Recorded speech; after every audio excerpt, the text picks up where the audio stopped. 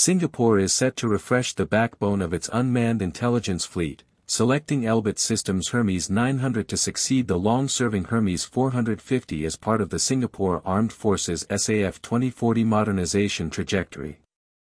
Announced by the Republic of Singapore Air Force, RSAF, on November 3, the decision reflects a deliberate shift toward platforms that can remain on station longer, carry more diverse payloads simultaneously, and integrate more tightly with joint and maritime missions. After almost two decades of dependable service, the Hermes 450 has reached the limits of its growth potential in a region where demands on surveillance, border security, and maritime awareness have grown more complex and persistent. Officials framed the move as a measured progression rather than a dramatic leap, stressing that deliveries of the Hermes 900 will be phased and that the Hermes 450 will continue operating during the transition. That sequencing is typical of Singapore's defense acquisitions, incremental fielding reduces risk, preserves operational continuity, and gives air crews and maintainers time to adapt tactics, procedures, and sustainment practices. No formal delivery timeline accompanied the announcement beyond the promise of progressive induction, but the intent is unambiguous, replace an aging asset with a more capable successor without creating a surveillance gap. The Hermes 900's appeal begins with endurance. According to the manufacturer, the aircraft is designed for missions lasting up to a day and a half, a figure that, while dependent on payload and conditions, significantly expands the duration of intelligence, surveillance, and reconnaissance, ISR, coverage possible from a single launch. That extra time on station matters in Singapore's operating environment, where maritime traffic is dense, weather can be fickle, and tactical windows for detecting illicit activity or unusual patterns may open at irregular intervals. Longer endurance also allows mission planners to reduce sortie counts to maintain a constant picture, easing pressure on launch and recovery elements while sustaining tempo over days or weeks. Payload flexibility is the second draw. Built around a larger airframe and open architecture mission systems, the Hermes 900 can accommodate multiple sensors at once, high-definition electro-optical slash infrared turrets, maritime surveillance radars, and communications relay packages among them, enabling crews to collect complementary data in a single pass rather than stitching together separate sorties. For a compact city-state with finite manpower, that multi-payload approach is a force multiplier, it compresses timelines from detection to assessment, improves target discrimination, and enhances the fidelity of the recognized air and sea picture that commanders use to make decisions. The platform's maturity also figured in the evaluation. Elbit Systems produces both the outgoing and incoming UAV families, simplifying the learning curve for aircrews familiar with the company's human-machine interfaces and maintenance philosophy. The Hermes 900 is already in service with militaries and government agencies across multiple continents, a footprint that signals established training pipelines, spares chains, and software baselines. In practical terms, the RSAF gets a capability upgrade without venturing into an exotic or unproven ecosystem, consistent with Singapore's preference for reliable, interoperable technology that integrates into existing command and control networks.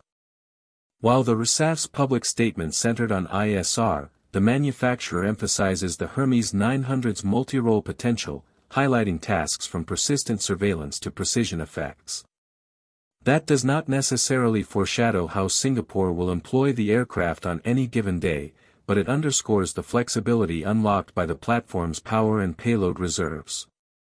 In peacetime, missions are likely to emphasize maritime domain awareness in the approaches to the Singapore Strait, border monitoring, and support to joint exercises, areas where persistent orbits, wide area sensors, and robust data links can deliver outsized value.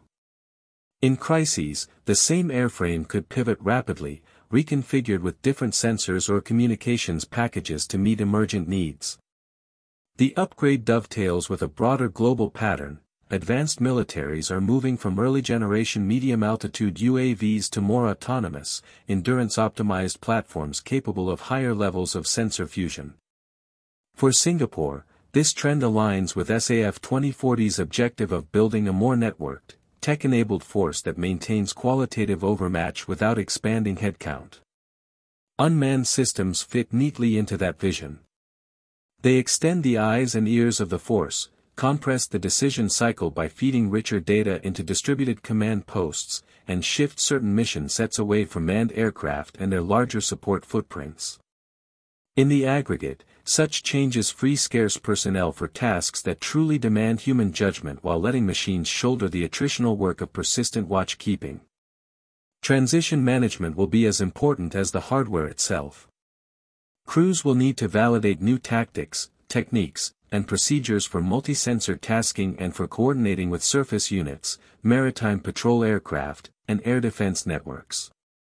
Data handling pipelines, how imagery, radar tracks, and metadata are processed, fused, and disseminated, will evolve to exploit the Hermes 900's higher throughput.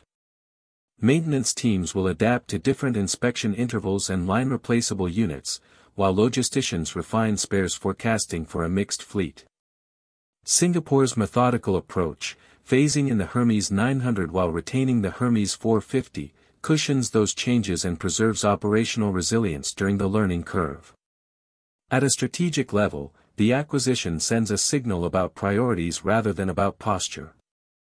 Singapore is not expanding the geographic scope of its security interests, it is ensuring that surveillance over its immediate environs remains comprehensive and timely as the regional maritime picture grows busier and more technologically contested.